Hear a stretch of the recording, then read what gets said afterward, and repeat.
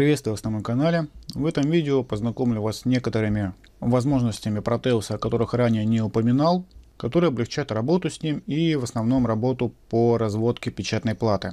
На данный момент у меня стоит версия 8.7 SP3, поэтому обращаю ваше внимание, что в предыдущих версиях таких функций может не быть. И также сейчас уже вышла 8.8 версия, в которой есть еще дополнительные фишки, довольно интересные, которые увеличивают функционал Протеуса и облегчают работу с ним. Но у меня сейчас стоит вот такая версия. Данный материал был взят с официальной странички на YouTube компании Lab Center. Они там иногда выкладывают видео, в которых освещают интересные моменты. Для примера это плата электронной нагрузки. Давайте перейдем на печатную плату. Так она выглядит. В каком-то из видео я показывал, как отключить векторы силы, или как они называются, я не помню. А, то есть желтая линия, вот стрелочка, которая показывает ну, как бы оптимальное размещение для элемента. Когда куча элементов не разведены на плате, и вот эти желтые стрелочки, они сильно мешают. Я показывал, как их отключить. Эта опция, насколько я помню, была где-то вверху. Теперь она внизу. Вот здесь вот название нашего файла, на него щелкаем, открывается окошко со слоями где мы можем отключить вот эти самые векторы силы, Force Vectors. Нажимаем ОК, и вот видим, появилась желтая стрелочка, которая все время будет мешать. Поэтому ее я рекомендую убирать. И более интересная функция, которая может быть полезна при изготовлении именно больших плат, с маленькими проблем обычно нету, это переключение видов платы по нажатию на клавиатуру. То есть вверху у нас видим вот название вида, которое мы хотим сделать. Давайте создадим новый, new, и пусть это будет опять же топ. Ну, топ уже создан, пусть будет ботом. То есть пишем ботом нижний слой печатной платы. Окей. А, он тоже я уже создавал, давайте удалим тогда.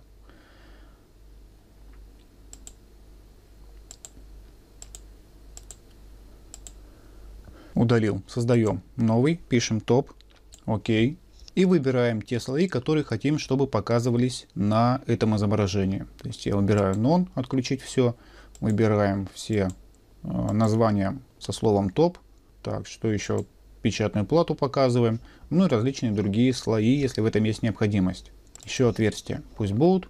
И назначаем ей цифру на клавиатуре. Пусть это будет цифра 1. Дальше создаем новый. Ботом. Окей. Опять же отключаем все и отмечаем все со словом ботом.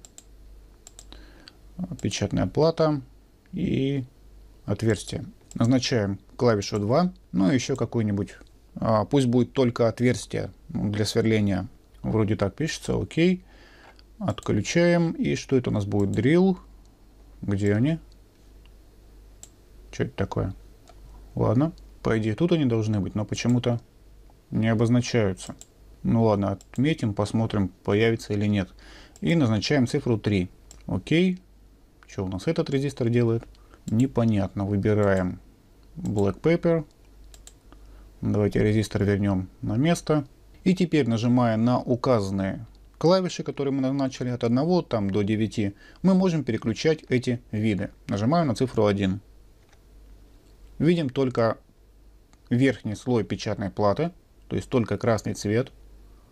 Нажимаю цифру 2. Видим только нижний слой печатной платы, что у нас здесь. То есть видим вот эти надписи здесь, а на этом слое их нету на верхнем. И цифра 3, здесь почему-то отверстий нету, они как-то с чем-то, видимо, связаны. То есть вот таким образом легко с помощью клавиатуры быстро можно переключаться между видами печатной платы. И это может быть очень удобно при изготовлении вот именно больших сложных печатных плат, при редактировании размещения, допустим, надписей. Потому что если у вас вот полное отображение, то не всегда понятно, что где находится. А раньше я это смотрел на 3D виде, как все расположено, где какие надписи, и потом уже их редактировал. Теперь же это легче, если убрать все постороннее. Следующий момент, который я раньше не знал. Обычно мы разводим печатную плату вот под прямым углом, либо под 45 градусов. Но это как бы нормально, вполне прилично выглядит. Но Proteus позволяет делать также дуги. Для того, чтобы сделать округлую линию, нужно удерживать клавишу Ctrl. То есть сейчас я веду обычным образом. Вот меняю углы, и видим, как происходит прорисовка дорожки. Теперь я удерживаю клавишу Ctrl. И видим, что прямые углы у нас сглаживаются путем вот таким вот построением множества кругов в этом месте. То есть еще раз, когда вам необходимо провести округлую дорожку, мы нажимаем Ctrl, проводим, заканчиваем здесь, отпускаем Ctrl и возвращаемся к обычному способу рисования дорожки. Нажимаю Ctrl,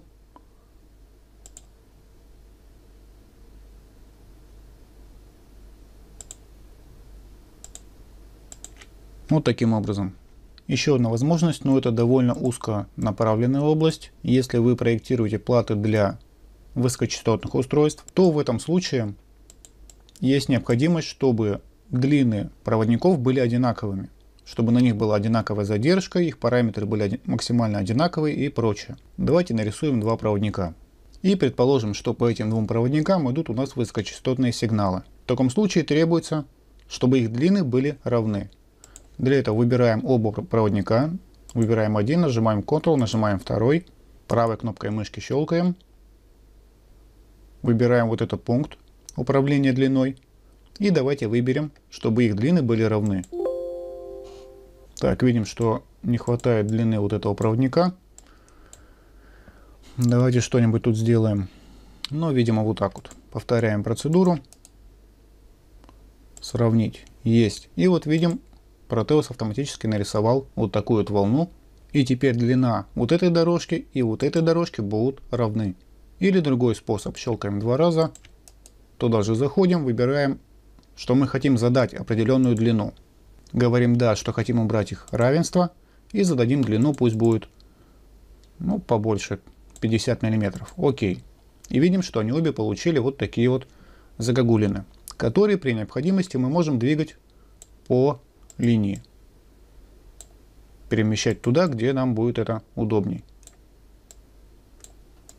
Давайте смеха ради еще увеличим. Поставим 90. И получим вот такую вот форму.